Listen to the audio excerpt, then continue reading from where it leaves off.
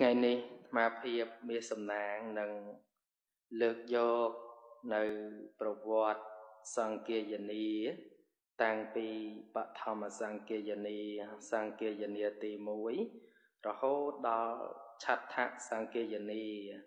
សង្គាយនីទី6និងសង្គាយនីទី7នៅក្នុង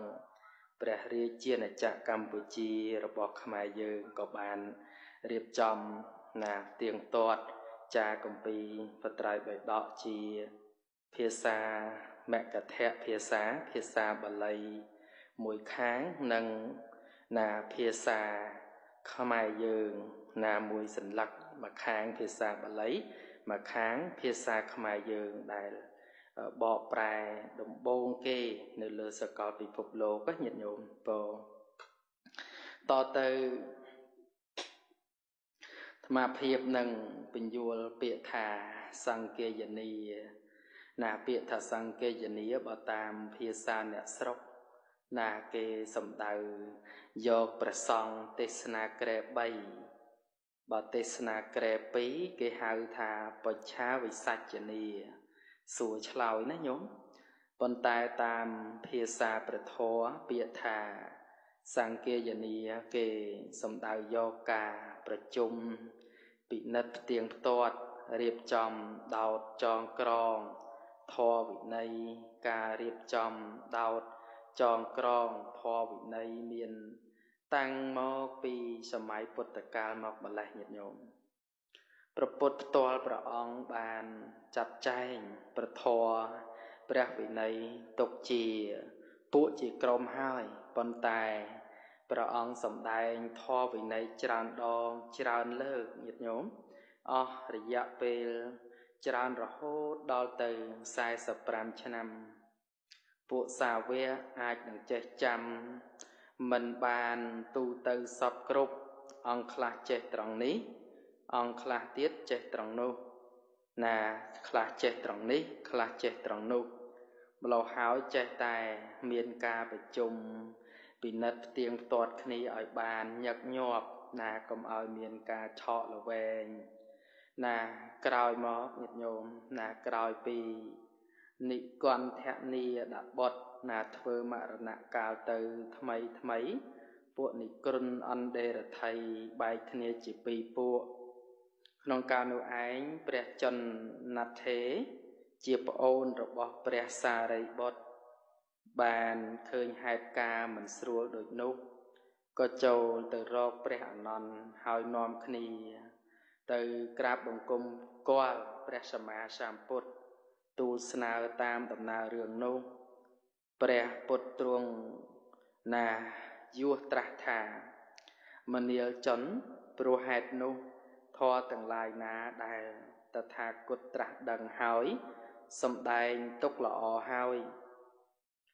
ធរក្នុងលោកនេះ គួរអ្នកទាំងអស់រួមពិនិត្យមកប្រជុំផ្ទៀងទាត់នៅអត្តដោយអត្តផ្ជាញ្ជនៈដោយផ្ជាញ្ជនៈក្នុងធរនោះដែលជាហេតុឲ្យព្រះមច្ចារិយធរដែលជាហេតុឲ្យព្រះមច្ចានេះ តាំងនៅមមថិតថេរអស់កាលជាយូរអង្វែងទៅ ដើម្បីជាប្រយោជន៍ដល់ជនច្រើន ដើម្បីសេចក្តីសុខដល់ជួនច្រើន ដើម្បីអនុគ្រោះដល់សត្វលោក ដើម្បីសេចក្តីចម្រើន ដើម្បីជាប្រយោជន៍ដើម្បីសេចក្តីសុខដល់ទេវតា និងមនុស្សទាំងឡាយចម្រើនពរញាតិញោមពុទ្ធបរិស័ទឲ្យបានជ្រាបផងថា ពាក្យថាសង្គាយនី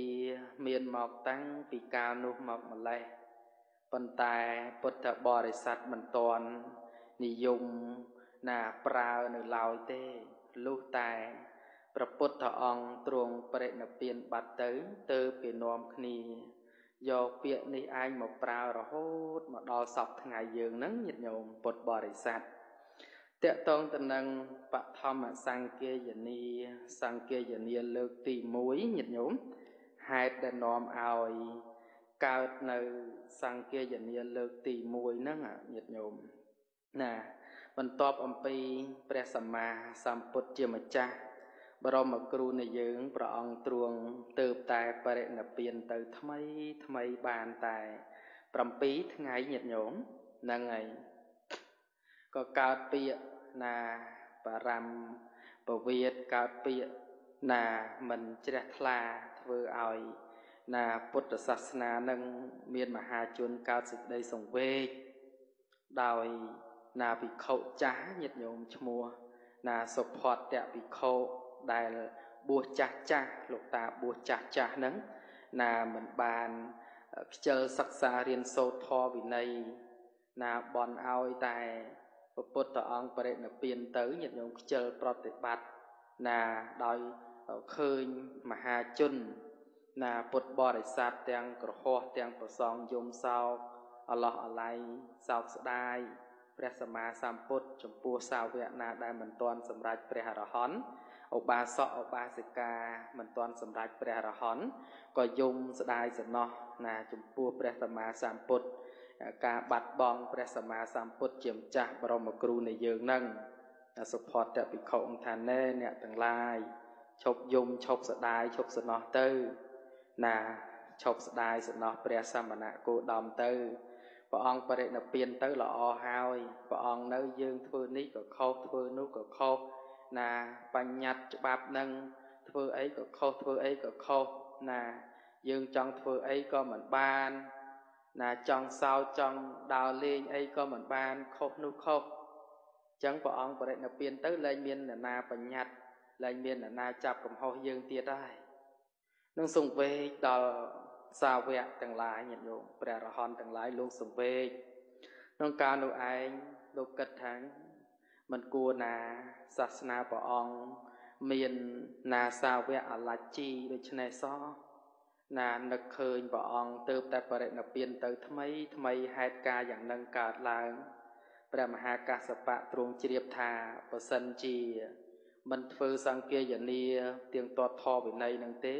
ខ្លាចក្រែងថ្ងៃក្រោយថ្ងៃក្រោយទៀតទៅនឹងបាត់បង់នឹងនៅធម៌វិន័យរបស់ព្រះសម្មាសម្ពុទ្ធហើយគ្រាន់តែហេតុប៉ុណ្ណឹងណាញាតិញោមព្រះមហាកាសបៈព្រមដោយភិក្ខុសង្ឃ500អង្គនិមន្តចេញអំពីក្រុងបាវ៉ាអាត្មារៀបរាប់តាមដំណើរដើមតងទៅណាញាតិញោមណាចេញអំពីក្រុងណាបាវ៉ាឆ្ពោះទៅកាន់ក្រុងកុសិនារី ដើម្បីគាល់ព្រះសម្មាសម្ពុទ្ធជនជាពេលនោះឯងបានជួបនឹងណាអាជីវកម្នាក់សៀតផ្កាមន្ទារបស់ញាតិញោមណាសៀតផ្កាមន្ទារបស់មកអំពីក្រុងកុសិនារីហ្នឹងណាព្រះមហាកាសបៈក៏សួរថា អ្នកទៅនឹងមកអំពីក្រុងកុសិនារីតើអ្នកបានដឹងដំណឹងអ្វីខ្លះនៅទីនោះ ពីសំណាក់នៃព្រះសមណៈគោដំបរមគ្រូរបស់យើងដែរឬណាអាជីវកហ្នឹងក៏ឆ្លើយប្រាប់ថា ណាព្រះសមណៈគោដំជាគ្រូរបស់អ្នកហ្នឹងបរិណិព្វានទៅ ណា7ថ្ងៃហើយការមន្ទាបោសនេះខ្ញុំបានមកពីទីនោះឯងណាកាលបានឮដំណឹងនេះ បណ្ដាភិក្ខុសង្ឃទាំងឡាយណាដែលមិនទាន់មានរាគៈអស់ទៅមិនទាន់បានសម្រេចជាព្រះអរហន្តណាមិនទាន់មានរាគៈប្រះចាកទៅនឹងក៏យំសោកសឹកខ្សួលស្ដាយស្រណោះអឡោះអាល័យណាចំពោះ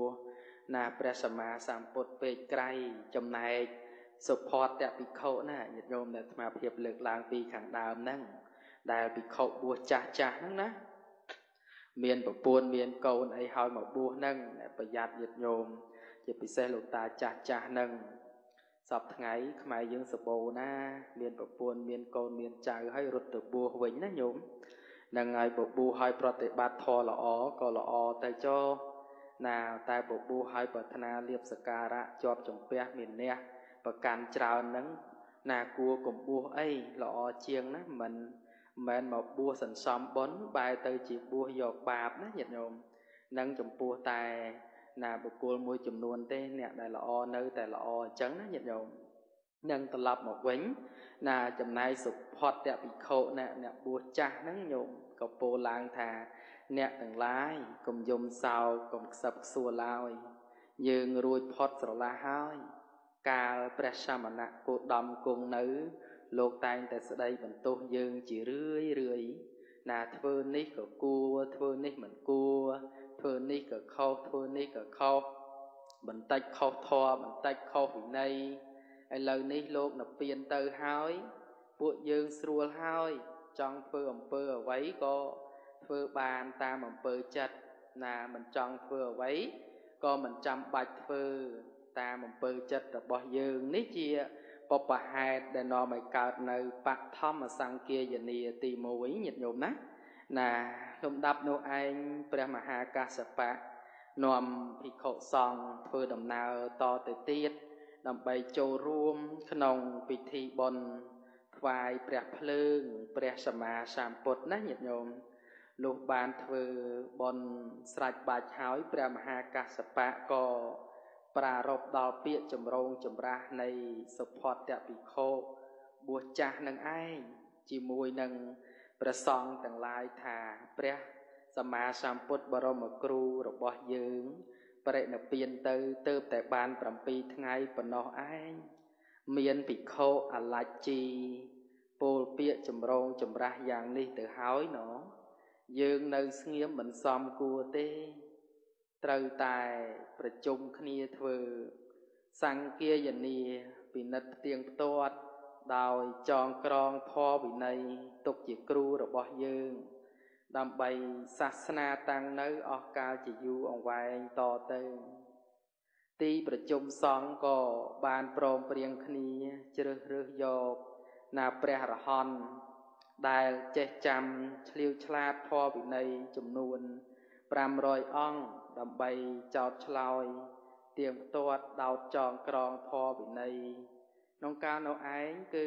ព្រះមហាកាសបៈជាប្រធាន ហើយជាអ្នកសួរនៅព្រះឧបាលិណាព្រះឧបាលីជាអ្នកឆ្លើយខាងណាព្រះវិន័យចំណែកឯព្រះអនន្តជាអ្នកឆ្លើយព្រះធម៌ជាអ្នកជើងខ្លាំងខាងណាព្រះសោតឬក៏ព្រះអភិធម្មហ្នឹង ព្រះអនន្តមែនតែនទៅព្រះអនន្តចាំទាំងអស់ញាតិញោមណាធម៌វិន័យរបស់ព្រះសម្មាសម្ពុទ្ធណាចាំសូត្របានដោយមាត់ទទេញាតិញោមណាណាញាតិញោមតែងតែស្ដាប់ឮប្រសូតតែថាអេវ៉ាំមេសូតាំងណាញាតិញោមសូត្រនេះគឺអនន្តខ្ញុំបានស្ដាប់មកយ៉ាងនេះថាហ្នឹងគឺព្រះអនន្តចាំពីព្រះសម្មាសម្ពុទ្ធហ្នឹងបានច្រើនណាស់ញាតិញោមចាំបានច្រើនមែនទែន ហើយរៀនសូត្រពីខ្លួនឯងផងណាញាតិញោមអញ្ចឹងព្រះអនន្តចាំទាំងអស់ពធទាំងណាព្រះវិន័យក៏ព្រះអនន្តចាំស្ទាត់ជំនាញទាំងព្រះសូត្រក៏ព្រះអនន្តចាំទាំងព្រះអភិធម្មហ្នឹងក៏ចាំណាញាតិញោមចាំច្បាស់អញ្ចឹងក្នុងកាលនោះឯងគឺមានព្រះរហន្តតែណា440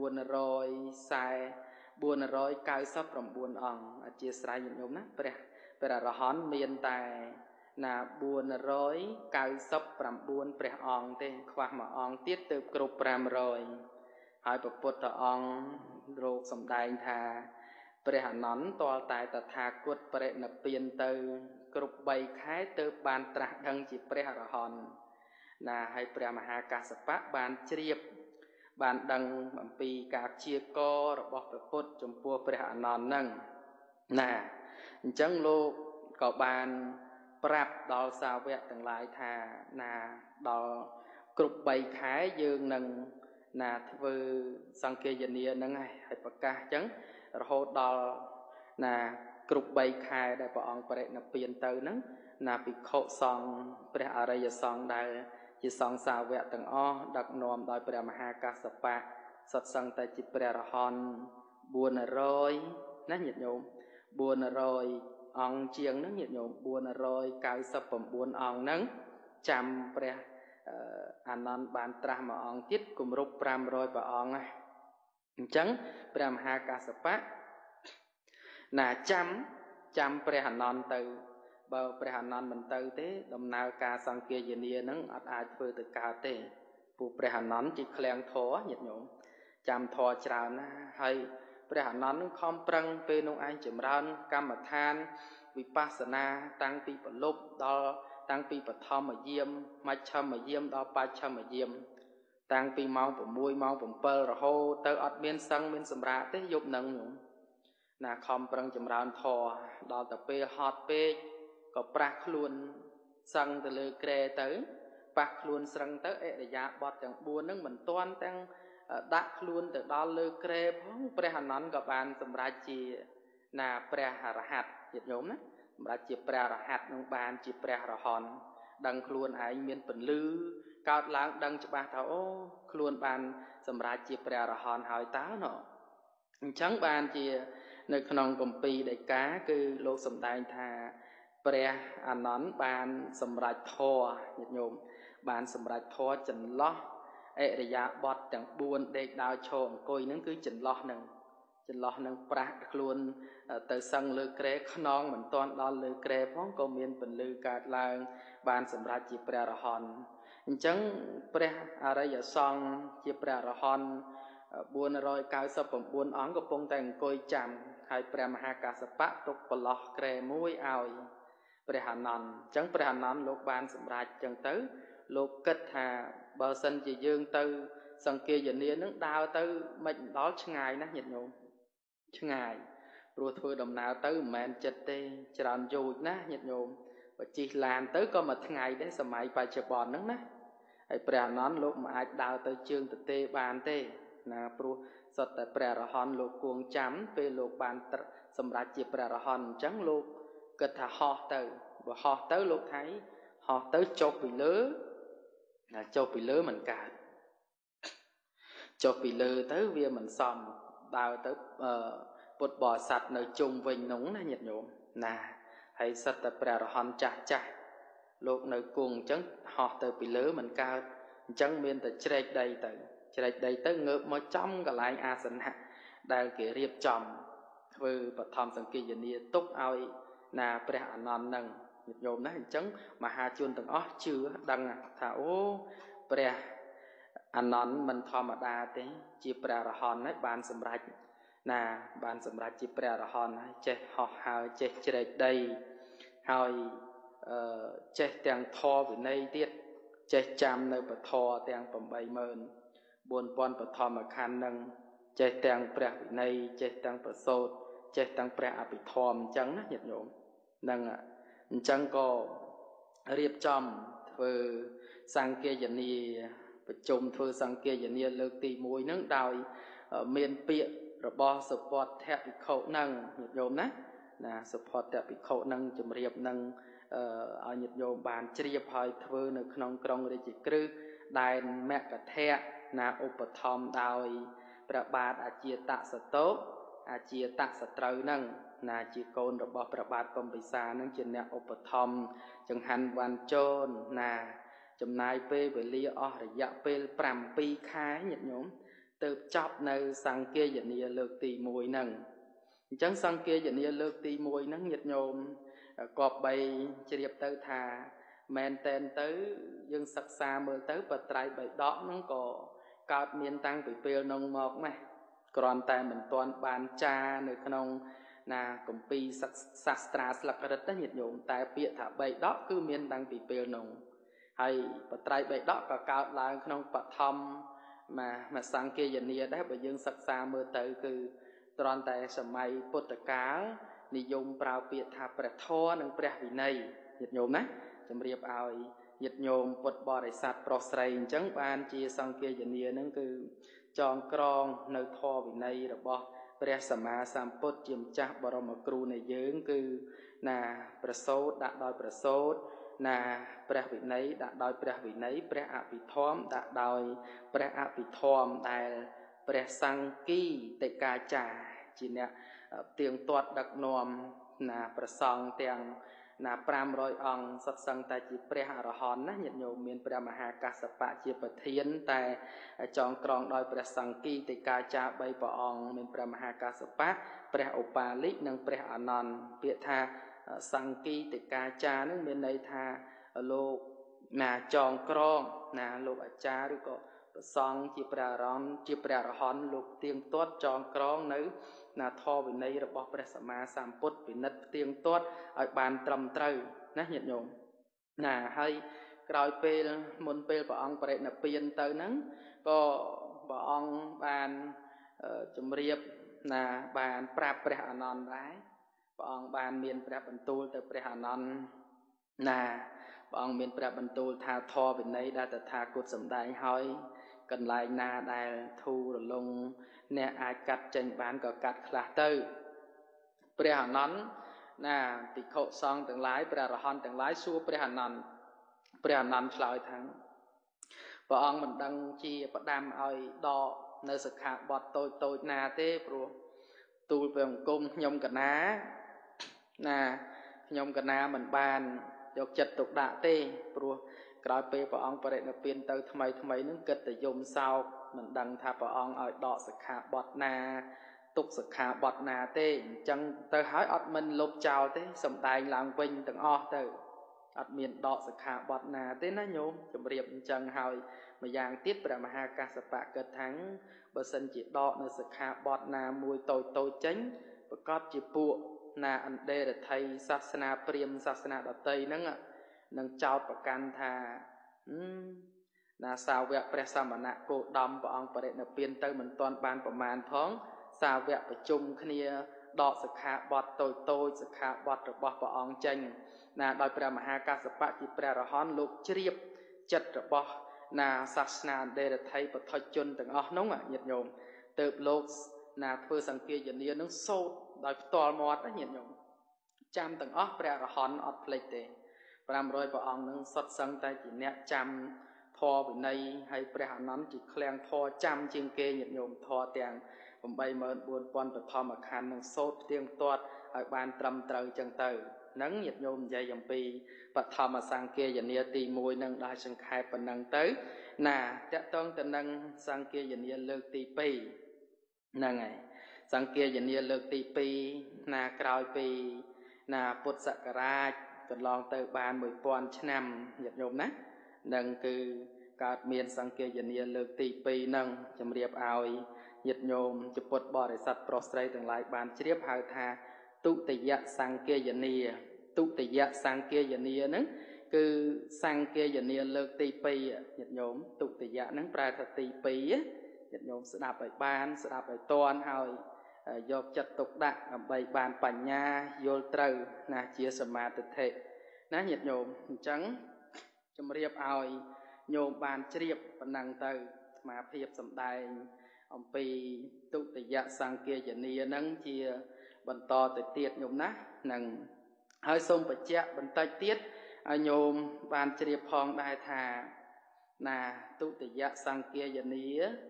អធិស្ស្រ័យសូមបញ្ជាក់បន្តិចញោមណាណាបឋមសង្គាយនាបឋមសង្គាយនាញាតិញោមគឺណាធ្វើ ក្រោយពីពុទ្ធបរិនិព្វានកន្លងទៅ3ខែមានព្រះរហន្តចំនួន500ព្រះអង្គចូលរួមធ្វើបឋមសង្គាយនានឹងនៅក្នុងសត្តបណ្ណគុហីមានរយៈពេល7ខែទៅចប់ណាហើយក្នុងកាលនោះឯងព្រះអនន្តសម្រេចជាណាព្រះអរហន្តសម្រេចធរនឹងក្រោយគេហើយជ្រែកដីចូលទៅ ណាចេញមកចំពាក់កណ្ដាលក្នុងជំនុំអង្គសង្គាយនានឹងណាហើយញាតិញោមជ្រាបហើយអាត្មាភាពបច្ចៈម្ដងទៀតថាសង្គាយនាលើកទី1មានព្រះមហាកសបៈជាប្រធានលោកចងក្រងជាសង្គីតេកាចារមានន័យថាអាចារ្យដែលចងក្រៀកធម៌វិន័យឲ្យមានរបៀបរៀបរយវិន័យដាក់ដោយវិន័យប្រសូតដាក់ដោយប្រសូតព្រះអភិធម្មដាក់ដោយព្រះអភិធម្ម ធ្វើនៅក្រុងរាជក្រឹសដែនមកធៈឧបត្ថម្ភដោយប្របាទអាជាតសត្រូវណាហើយធ្វើនៅចម្ពូទ្វីបញាតិញោមចម្ពូទ្វីបហ្នឹងគឺប្រទេសឥណ្ឌាសង្គាយនាលើកទី1ហ្នឹងណាញោមចំណែកឯសង្គាយនាលើកទី2ហៅថាទុតិយសង្គាយនាហ្នឹងណាពុទ្ធសករាជកន្លងទៅបាន100ឆ្នាំមានន័យថាព្រះពុទ្ធបរិនិព្វានកន្លងទៅបាន100ឆ្នាំមាន ព្រះអរហន្ត700អង្គចូលរួមប្រជុំណាមានព្រះសัพពកាមីជាប្រធាន ព្រះរេវតថេជាអ្នកសួរណាព្រះសัพពកាមិទ្ធេជាអ្នកឆ្លើយ ប្រជុំធ្វើនៅវាសិការាមក្រុងវេសលីដែនវច្ជីណាញាតិញោមនិងសង្គាយនា លើកទី2នេះឯងធ្វើឡើងក្នុងគោលបំណងដើម្បីរងាប់អតិកោរឿងវត្ថុ10ប្រការ និងផ្ទៀងផ្ទាត់ធម៌វិន័យទុកជាក្បួនច្បាប់ឲ្យល្អតទៅណាទុតិយសង្គាយនីសង្គាយនីលើកទី2ហ្នឹងញាតិញោមឧបត្ថម្ភដោយព្រះបាទណាកាលៈសោកញាតិញោមណា ព្រះបាទកាលាសោកអធិស្ស្រ័យមិនមែនកាលៈសោកទេ ណាឧបត្ថម្ភដោយព្រះបាទកាលាសោកជាអ្នកឧបត្ថម្ភណាហើយសង្គាយនាលើកទី2នេះឯងប្រជុំអស់ថេរវេលា8ខែទៅសម្រាប់ណាស៊ីពេលអស់8ខែណាញាតិញោមទៅចប់ណាធ្វើនៅចម្ពូទ្វីបប្រទេសឥណ្ឌាដែរញាតិញោមពុទ្ធបរិស័ទពោសូមបញ្ជាក់ថាសង្គាយនាលើកទី1 សង្គាយនាលើកទី2សង្គាយនាលើកទី3ធ្វើនៅចម្ពូទ្វីបនៅប្រទេសឥណ្ឌាធ្វើនៅប្រទេសឥណ្ឌា3លើកហ្នឹងជាសកលច្បាប់សកលទូទៅញាតិញោមប្រទេសណាកម្ពីដីកាណាក៏សំដែងអញ្ចឹងដែរណានឹងអញ្ចឹងចូលមកដល់តតយៈសង្គាយនីសង្គាយនីលើកទី3ញាតិញោមតតយៈសង្គាយនីសង្គាយនីលើកទី3នេះ គឺពុទ្ធសករាជកន្លងទៅបានគឺពោលគឺពុទ្ធបរិនិព្វានកន្លងទៅបាន218ឆ្នាំ មានព្រះរាជាមួយព្រះអង្គព្រះនាមអសោកមហារាជបានឡើងសោយរាជនៅក្នុងក្រុងបាដលិបុត្រដែនមគធៈញាតិញោមនឹងហើយណាតតយៈសង្គាយនី សង្គាយនីលើកទី3នេះ ធ្វើឡើងក្រោយពពុទ្ធព្រះអង្គបរិណិព្វានទៅបាន234ឆ្នាំណាញាតិញោមប្រជុំសន្និបាតនៅអសោការាមវត្តរបស់ស្ដេចអសោកជាអ្នកកសាងបូជាចំពោះព្រះពុទ្ធសាសនានៅក្នុងក្រុងបាដលិបុត្រដែនមគធៈនៅចម្ពូទ្វីបប្រទេសឥណ្ឌាញាតិញោម នៅក្នុងការនោះឯងគឺព្រះមោគលីបតតេសទ្ធេជាប្រធានហើយមានព្រះរហន្តចូលរួមប្រជុំចំនួនរហូតដល់ទៅ1000អង្គណាសង្គាយនីលើកទី3ណាក្នុងធ្វើឡើងក្នុងគោលបំណងដើម្បីណាកំចាត់ពួកភិក្ខុអលច្ជីនិងផ្ទៀងផ្ទាត់ធម៌វិន័យក្នុងកាលនោះឯងមានព្រះបាទអសោក មហារាជជាអ្នកឧបត្ថម្ភចំណាយពេលវេលាចំនួន9ខែទៅចាប់ជាស្ថាពរញាតិញោមណានឹងតកតងទៅនឹងសង្គាយនាលើកទី3ហ្នឹងអាត្មាភាពលើកឡើងដោយសង្ខេបត្រួសត្រួសលើកយកតែចំណុចខ្លឹមខ្លឹមយកមកសំដែងយកមកនិយាយឲ្យញាតិញោមឆាប់ស្ដាប់បាន ចាប់បានយល់ចូលចិត្តដឹងអំពី ណាប្រវត្តិនៃសង្គាយនាតាំងពីសង្គាយនាលើកទី1លើកទី2លើកទី3ហ្នឹងចំណែកឯសង្គាយនាលើកទី4ញាតិញោមណាសង្គាយនាលើកទី4ហ្នឹងគឺភាសាបាលីថាចតថៈសង្គាយនាណាសង្គាយនាលើកទី4ធ្វើឡើងនៅប្រទេសស្រីលង្កាក្រោយពីធ្វើតតយៈសង្គាយនាស្រេចហើយនៅពុទ្ធសករាជ 234ឆ្នាំញាតិញោមណា គឺព្រះមហិន្ទថេព្រមដោយព្រះសង្ឃ5អង្គបានធ្វើដំណើរទៅផ្សាយព្រះពុទ្ធសាសនានៅប្រទេសស្រីលង្កាដើម្បីទេសនាប្រោះប្របាទទេវានំបយៈទេសៈព្រមទាំងប្រជាជននៅកោះលង្កាឲ្យជ្រះថ្លា ឬក៏ហៅថាតពៈបណ្ឌិទ្វីប ប្រជាជនដែលមានបាតដៃក្រហម នៅកោះលង្កាហ្នឹងញាតិញោមឲ្យជ្រះថ្លាដើម្បីប្រដេស្ថាន ណាពុទ្ធសាសនាទុកនៅទីនោះដោយលោកឃើញថាមានតែ